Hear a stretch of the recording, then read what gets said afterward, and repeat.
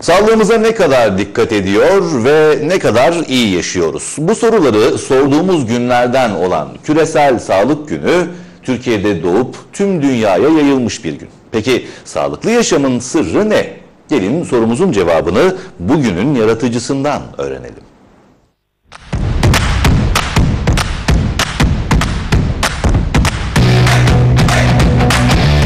Türkiye'den dünyaya yayılan Küresel Sağlık Günü 8. kez bu görüntülerle kutlandı.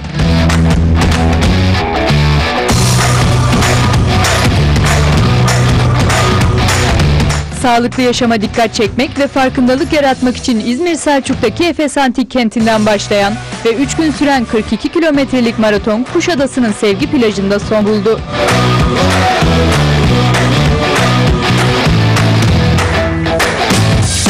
Bu yıl Birleşmiş Milletler resmi takvimine de girmeye hazırlanan Küresel Sağlık Günü kutlamalarında yoga ve zumba yapan katılımcılar renkli görüntüler oluşturdu. baş parmağınız beni göstersin. Aynen. Kocaman bir nefes. Küresel Sağlık Günü eş zamanlı olarak 150 ülkede 5000'den fazla noktada çeşitli etkinliklerle kutlandı. 2012 yılında iyi yaşam herkesin hakkı diyerek Küresel Sağlık Günü'nü yaratan Belgin Aksoy, Küresel Sağlık Günü'nün ortaya çıkış hikayesini anlattı. 2012 yılında çok basit bir merak ile çıktı bugün ortaya. Acaba dünyada iyi yaşam günü ne zaman kutlanıyor? Çünkü böyle bir günün varlığının e, varlığına emindim. Olmadığını görünce çok şaşırdım ve 2012 yılında böyle bir gün yaratmaya karar verdim. İlk kutlamamızı Türkiye'de gerçekleştirdik.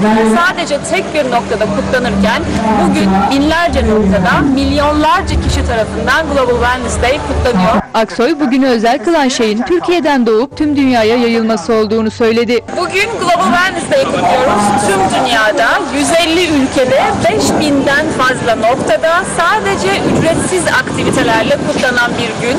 Bugünü özel kılan şey bugünün Türkiye'de doğup tüm dünyaya yayılmış olması. İyi yaşama herkesin bir adım atmasını istediklerini de belirten Aksoy, Küresel Sağlık Günü'nün daha iyi bir yaşam için önerdiği 7 adımlık manifestosunu açıkladı. 7 maddelik bir manifestomuz var. Global Wellness Day'in 7 maddelik manifestosu. 1. Her gün 1 saat yürü. Plastik şişe kullanma. Daha fazla su iç. Sağlıklı beslen. Ailenle birlikte yemek ye. Bir iyilik yap ve mümkünse saat 10'da uyu. Bu 7 adımın en azından birkaç maddesini hayatımıza aldığımızda 365 gün sonra yani 13 Haziran 2020'de aslında kendi iyi yaşamımızı kutlayabiliriz.